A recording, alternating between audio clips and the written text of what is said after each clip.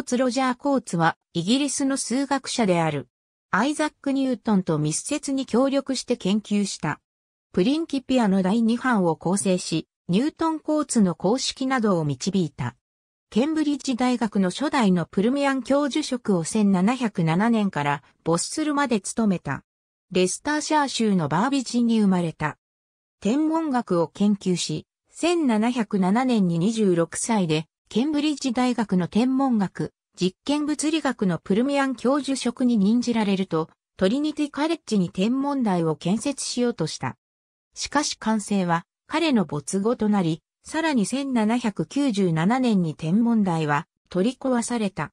ニュートンと協力して時計仕掛けで鏡が回転するヘリオスタット式の望遠鏡を設計した。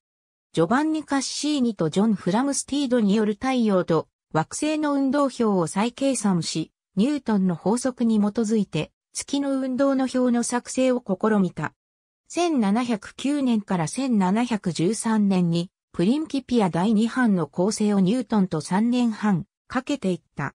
コーツの主な業績は数学、特に積分法や対数、数値解析の分野にあり、区分級積法に関するニュートンコーツの公式に名前が残されている。1716年に33歳で病没した。ニュートンはその死を惜しんで、If he had lived we would have known something と述べた。ありがとうございます。